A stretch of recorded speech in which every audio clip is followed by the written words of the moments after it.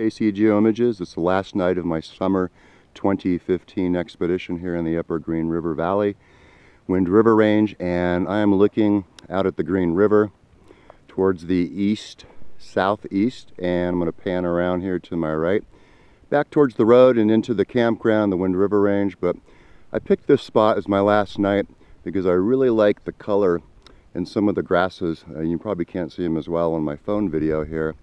But there's also this green island here that you can see in the foreground.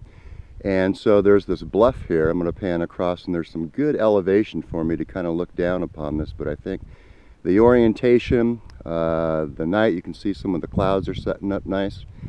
And I think this could turn out to be some beautiful shots. I'm loving the colors in some of the grasses, lots of browns and reds and almost Indian summer, early fall colors. So this will be my last shoot. I've had eight of them. Uh, I, I like what I have and excited to see how they turn out. And uh, you guys will hopefully be as well. So we'll see how tonight works. And again Kevin from KC Geoimages signing off from the Upper Green River Valley Wind River Range.